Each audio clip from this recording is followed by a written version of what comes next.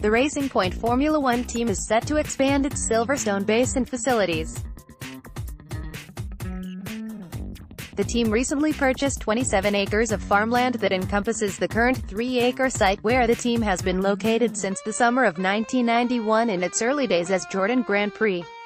Land on the other side of the current factory, which now features some industrial units, is still owned by Eddie Jordan. We don't have planning permission yet, but we hope that's forthcoming, said team principal Otmar Szafnauer of the expanded site. We're working on the plans now. To apply, there's a six-month process to go through all the necessary steps, and we're probably three to four months into that process before we apply for planning. Once we have permission, then we'll start. I think it will take about two or two and a half years, probably two years from now, for us to finish the new factory, and then we're going to move in. A key motivation for Racing Point is to move all of its facilities to one site, with the aerodynamics department currently based at the team's Brackley Wind Tunnel 7 miles away.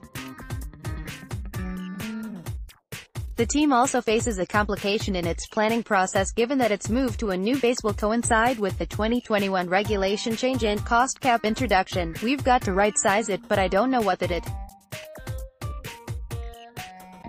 Unless you know the regulations, it's hard to know, said Szafnauer. How do we know how big to make the factory, how little to make it, what to include, what not to include? What we do know is that the building we're in, with the people we have, is too small.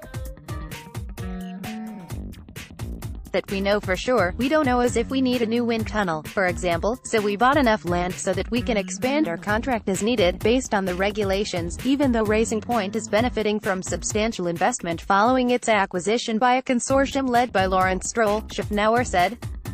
It has some way to go to reach the spending level that a cost cap is likely to be pitched at. We have some insight as to what 2021 will look like even with a cost cap, he said, and even with the cost cap that's been talked about, we will need more space.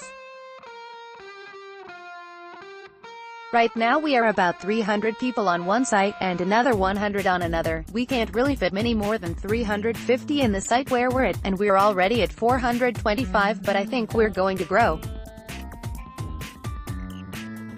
So wherever the cost cap comes out, I think we'll be way under it, and we'll start growing. Somebody told me today that from a human resource perspective we are the second smallest team, I think. Haas has less